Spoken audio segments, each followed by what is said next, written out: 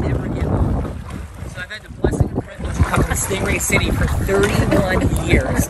This is more than my 40th time with the Stingrays in Stingray City, and it never gets old uh, unless we have. No, How many Stingray? Michael, by the way, thank you so much for doing this. And Shane, Awesome. amazing Stingray. How many, Michael? How many Stingrays do we have all around us? Uh, in total right now for this morning we have around 30 35 stingrays but we can have up to 90 stingrays 90 up to 90. And so for everyone, there's always unique ways to do things. Because, you know, if you come to Stingray City at you know, 2 o'clock in the afternoon on a free shift day, you're going to be here for a lot, a lot of people. It's still beautiful.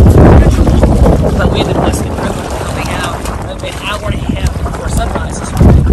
Being here for sunrise, coming up great on the bioluminescent day. Bella Frida, your thoughts as you are surrounded by stingrays. Um, I'm in the middle of Stingray City and it's kind of, kind of crazy. And Loretta, I miss you. I miss you, Loretta. I miss my squeal buddy.